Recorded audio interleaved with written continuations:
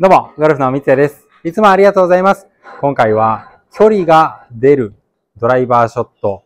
ドローボールを打とう。こういうテーマでお届けしていきたいと思います。なぜドローボールが距離が出るのか、そのメカニズムを少し覚えていただければ、なるほどドローボールを打ってみようという気持ちになると思いますので、えーぜひこの動画最後まで見ていただいて、練習場でまず練習、その後でコース試す、えーそういう順番でやってみてください。私、三ツ矢は4000名の方が通うスクールで普段レッスンさせていただいてます。皆さん、本当に感謝します。皆さんのこと大好きです。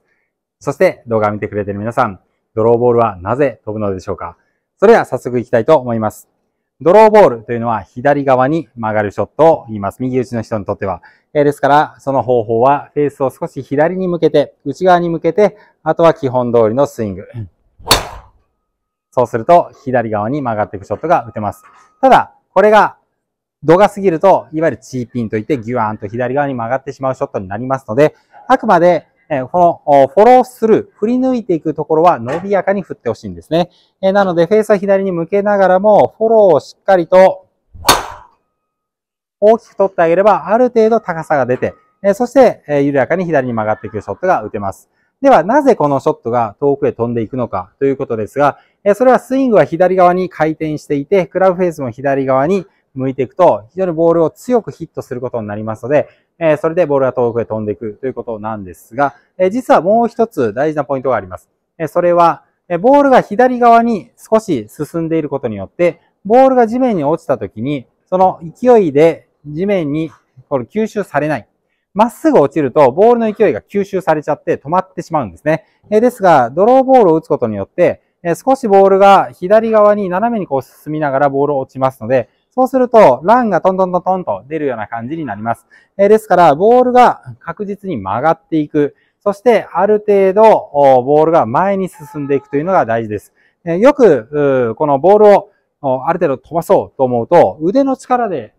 こんな感じで振ってしまう方がいらっしゃるんですが、えこれではスイングをただただ崩してしまうことになりますので、え遠くへ飛ばすためには、えドローボールを伸びやかにフォロースルーを取りながら打っていくというのが重要です。えそうすると、左側に、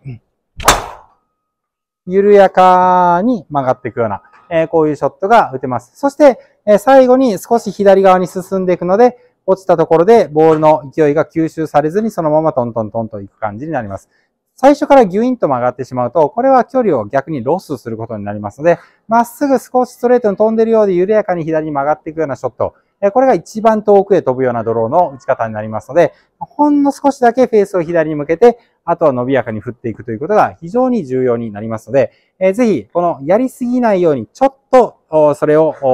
まっすぐよりも、ほんの一度、左に向けるぐらい、えそれで十分ですので、えーこのドローボールを打つためには、ほんの些細なことを取り組んでやっていく、えスクエアになっているかどうか、そしてそこからフェースが閉じているかどうか、えそれは普段からのグリップで、えフェースがスクエア、クローズド、オープン、えそれを少し微調整できている人は、このドローボール打てますので、えグリップをしっかり確認してやってみてください。えポイントは打つ前のこのフェースの向きになりますので、えそれが正しい向きに向いてないと、ちょっと閉じて左側に向いてる、えこの状態を作ってあげないと、ドローボールは打てませんし、やりすぎてしまうと距離を逆にロスすることになりますので、そうならないように気をつけてやってみてください。まずは練習場で試す。それが一番重要になりますので、まずはコースに行く前に練習する。えこういうことを皆さん認識して頑張ってやってみてください。え最後まで見ていただきましてありがとうございます。最後に高評価、チャンネル登録よろしくお願いします。それでは次の動画でお会いしましょう。